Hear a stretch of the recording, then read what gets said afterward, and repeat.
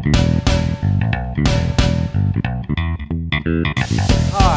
we're gonna do a how to clean an AOD governor. We're gonna start out with 13 millimeter. We're gonna remove the extension housing bolt.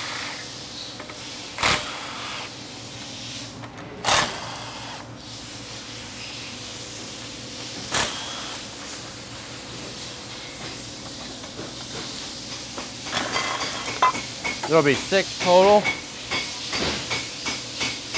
We'll go ahead and remove the extension housing, set it aside. Take the unit out of the park so you can spin this around so you can see.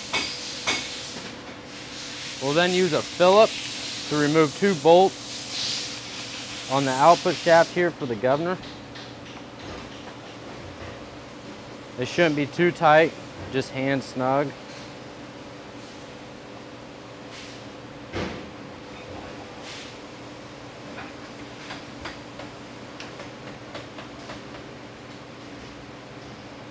Okay, so we'll take the two screws out to remove the governor.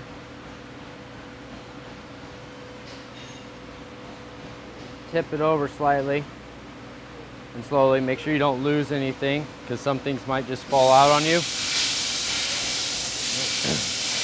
You should have a screen inside the governor. Set it down on a rag and then start slowly just pulling the stuff out if you can. Now if it's sticking, tap it on the table a little bit and pull it out. It's very important to lay everything out the way it comes out because it has to go back the same direction in the same way you took it apart. Once you get it apart, you're gonna wanna clean it up. Bench buddies work pretty good. Just take the finished edge off of it and clean it up really nice. You can do it while it's still dirty because you got to clean it afterwards. Switch to the next bench buddy size. Make sure you clean, get all the holes good. There's different steps in the hole itself.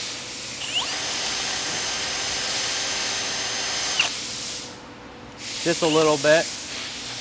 You might have to repeat this process in order to achieve the governor not sticking at all.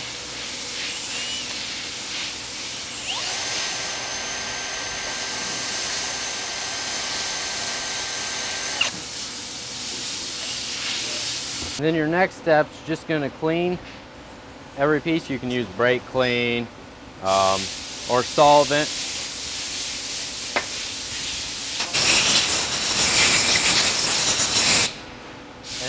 do it to clean every piece. Keep in mind, keep all the pieces in the same direction as you pulled it out so you know which way it goes back together. It will not work if you put it back together the wrong way.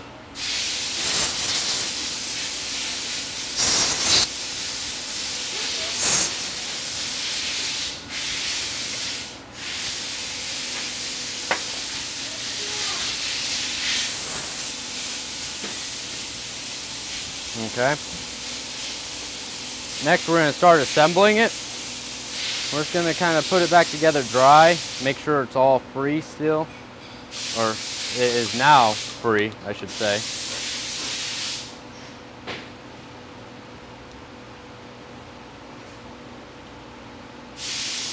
And once everything just kind of falls, tip it over, everything should just fall out. And repeat this process probably a couple times just to make sure that everything is working the way it needs to work.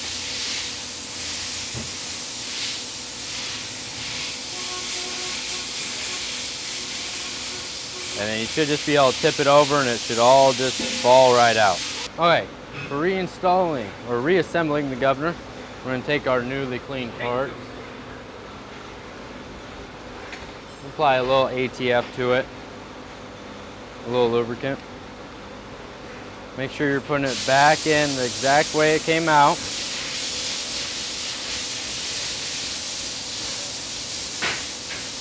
It should be good. Give it a little shake just to make sure. put your screen back in, and then you're ready to reassemble the governor on your transmission. Now for reinstalling the governor, we're just gonna bring it over here, make sure you're putting it on the same way you took it off. It does have feed holes and it's gotta go the right direction, otherwise it will not work. Take your two hold down bolts, starting by hand, and then run them down. You don't want these too tight, but you don't want them too loose. Just hand tighten them.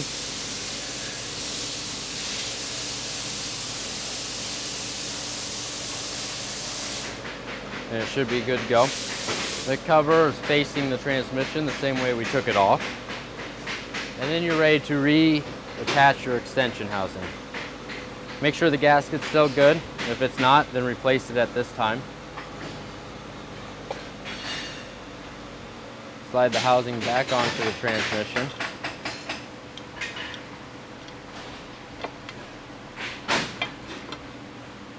and then start your bolts by hand.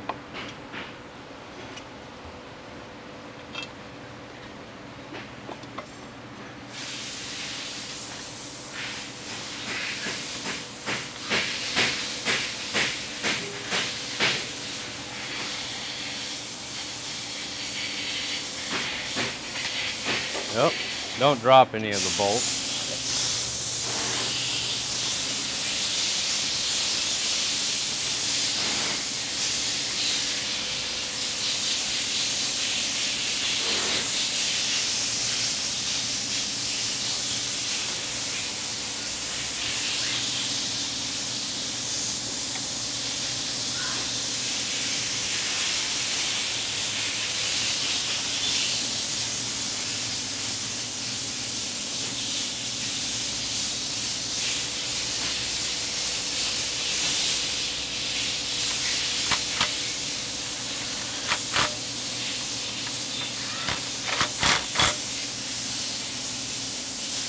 Snug the bolts down.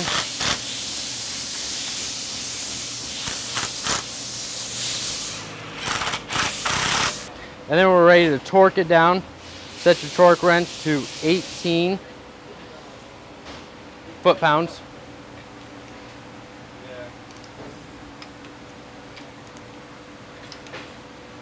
This will ensure no leakage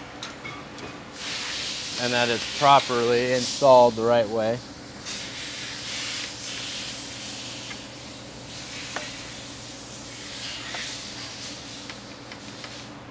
And you can run back over them and make sure that they are nice and snug.